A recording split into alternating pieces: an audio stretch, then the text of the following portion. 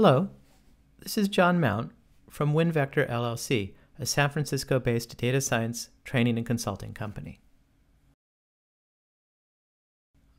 I'd like to share a screencast on using a package called wrapr, available on CRAN, to debug programs in R using RStudio.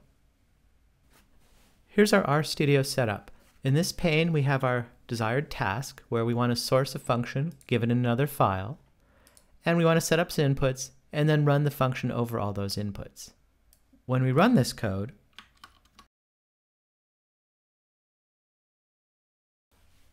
F eventually throws an exception or calls stop, an error.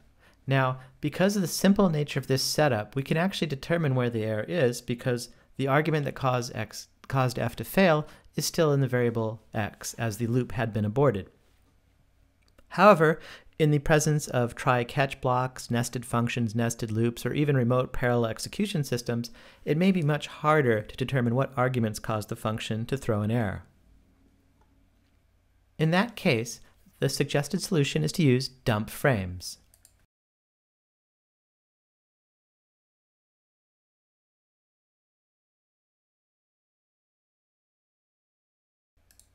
In that case, before executing our code, we set the global option that unhandled errors are to call the dump frames command with these arguments.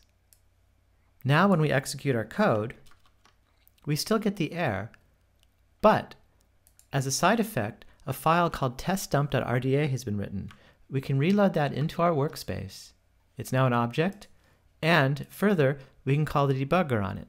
We might also like to inspect breakpoints and look at the code of F. Let's try to do that.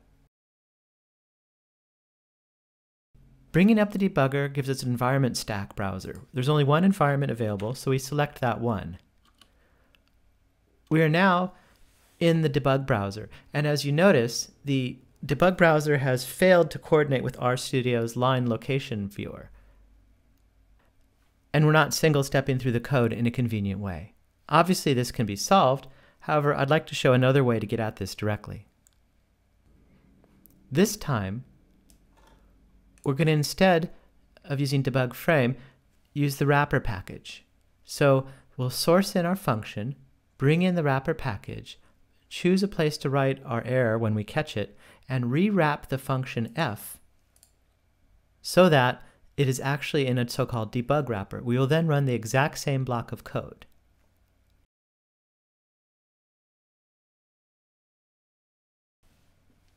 You see, we still threw an exception, but now we've got this help that the file bug.rds was written and it can be restored into the workspace and executed by the following call. We'll go ahead and do that. I'm going to set a breakpoint, like we tried before, and I'm going to call the function by name instead of by the function code. Either call will work, but currently only the function call by name triggers the breakpoint. Now we are not only in the function context with the debugger, you can see the values array and i are active with the known values, but we've also triggered RStudio's visual single-step debugger in a consistent manner. That's all for debugging with wrapr today, and I suggest you check out the wrapr package on CRAN for more documentation and vignettes. Thank you very much for your time.